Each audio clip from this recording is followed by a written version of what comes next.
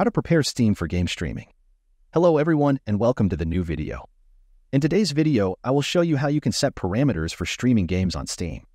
The gaming industry is one of the most popular industries in the world. As such, there are many users and people who are actively making money from it.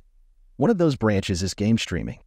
Streams are a very popular way of earning money among gamers, where they can live with the help of donations and other types of income. Steam, as the main platform for gaming on the computer, also thinks about users who want to stream content from it. Let's see how we can set the parameters for streaming on the computer. First of all, open Steam. When Steam is opened, click on the Steam icon in the upper left corner of the screen. Here, a list will open in which we need to select the settings option. When the settings opens, we need to find the broadcast option in the left menu and click on it.